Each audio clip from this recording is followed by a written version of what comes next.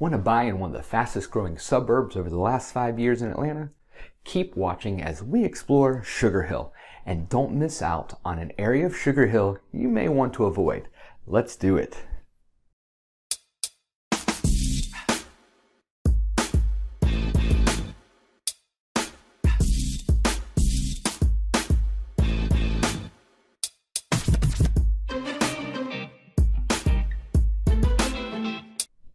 What's going on, everyone? Jonathan McCoy here with Keller Williams Realty, Chattahoochee North, and I am Atlanta's Real McCoy. I've got people just like you reaching out to me and asking where in Atlanta they should move to. Well, there are so many good options to choose from, and depending on your likes, must haves, your work location, and your budget, that will determine which area is the best fit for you. I've done a number of videos on different suburbs around Atlanta, and today we take a look at Sugar Hill. Now before we start, wanted to say sorry for being late with posting this video. Was supposed to get it out yesterday, but while out working for my clients, my tire decided to blow out on my car. And then, while putting on the spare, my shoe also decided to blow out as well. I guess it was just feeling left out. So getting all that handled kind of put a delay on things, but everything's all good now and we are back. So here we go. Located just under 40 miles northeast of Atlanta and nestled between Buford and Suwanee, you will find Sugar Hill. Having a really big jump in population over the last five years, Sugar Hill has really taken off and at its center is the wonderful E-Center at Sugar Hill. With that in mind, we start off with the city center. When I walked around this the other day, I thought that this may be the best thought out city center I have seen. It's not the biggest downtown area, but it is so well done and boasts a lot to do in a small area. For those looking for a place to have a quiet, relaxing walk, read a book or go on a date, this city center has you covered. There's this area around the pond, there are fountains, plenty of places to sit and relax. For the kids, there's a great splash pad with a few shaded areas put up for kids and adults. Adjacent from the splash pad is a nice grass area and City Hall. Then also next to it might be the coolest outdoor stage and amphitheater that the city center has in all of Metro Atlanta. Sugar Hill calls their amphitheater the Bowl. Unlike other city centers, the entertainment here does cost money, so you will need to buy tickets. For more entertainment, you can also find the Eagle Theater. The theater has an Art Deco look characterized by the geometric shapes, rich colors, and exquisite gold accents. With 406 seats, the Eagle is perfect for intimate performances as well as traveling shows. The Eagle Theater is home to the Players Guild at Sugar Hill and the Broad Street Concert Band. Also, throughout the year, there are $2 movies that are played on the second Tuesday of every month. A few other things that you can enjoy while around here are the Rushing Trade Company, which is a coffee house, fine eatery, and some fabulous brunch options, um, as well as a craft cocktail bar. Then there's also Nucky's Pizza and Hoagies, Central City Tavern, and Indio Brewing. As this area continues to grow, as I was walking around, I saw that there are other restaurants and eateries coming soon.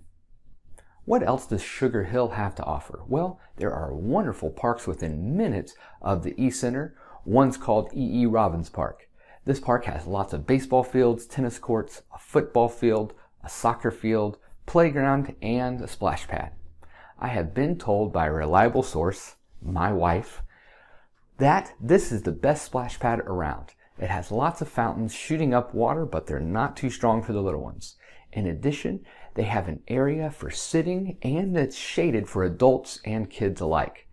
It's kind of strange to me, but there are a lot of splash pads out there that either don't have a lot of seating for adults or there's not a lot of shade. So, well done, E.E. E. Robbins Park.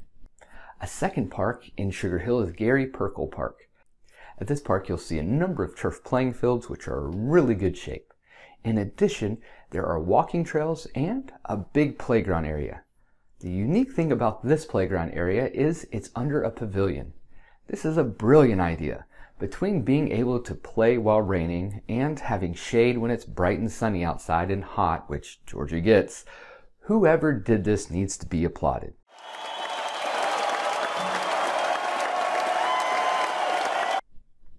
I love when designers think out things like this park and actually think about using the park in a way that parents and kids and everybody alike can enjoy. As we continue on, you may be asking yourself, well, should I move here with my family? How are the schools? Should I buy a house here? Well, according to niche.com, they rank Sugar Hill as the number nine best place to raise a family in Georgia. They rank it as number 10 best place with the best public schools in Georgia and the 12th best suburb to buy a house in in Georgia. While I don't get too caught up into rankings, Sugar Hill does seem to get high praise from niche.com as well as a number of other resources I've come across. Also, the people I know that call Sugar Hill home just absolutely love living there. Let's jump into housing. A good thing about Sugar Hill is is a little further out from Atlanta, which means you got more space. And that space is being bought up and you can find new construction in the area. For homes in Sugar Hill, the average sales price over the last 180 days has been $373,000. Here's a look at a house that is right around that price point. And you'll see it is a little bit newer because you get some newer builds in Sugar Hill.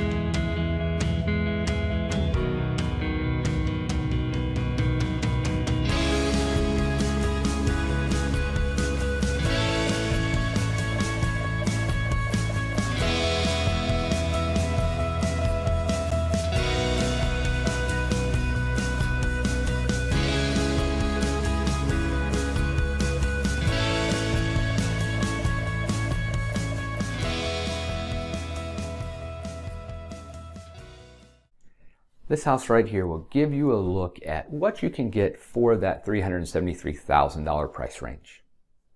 Sugar Hill has plenty of grocery options and is very close to both Buford and Suwanee, which also offer lots of dining and shopping. With all the great things I've mentioned, there is one thing I want to point out. On the border of Sugar Hill is the Richland Creek landfill. While the landfill has a Buford address, I do want to point it out. When buying a home in any area, it is always the responsibility of the buyer to research the area, and that includes finding out things like landfills nearby. You can see on the map the location of this landfill. So just be aware and know the area you are looking in. Well, I've been in the area of Sugar Hill plenty of times and plenty of times near the landfill. I've never really smelled that, you know, landfill smell that gets all up in your nose and stuff, but could have just been on the days I'm visiting maybe, but I just want to point out so you can investigate for yourself if you're buying in the area. Sugar Hill is a cool town that is growing in value and size. Sugar Hill is just another one of the many suburbs surrounding Atlanta to choose from. If you have any specific questions about Sugar Hill, Georgia, please feel free to put them in the comment section below or contact me via email, phone, or text. I would be happy to answer any questions that you have. I hope you found this video helpful. I post videos just like this one on Thursdays about living, working, playing, and breathing all things Atlanta and the metro Atlanta area. Thanks, and I will see you next time.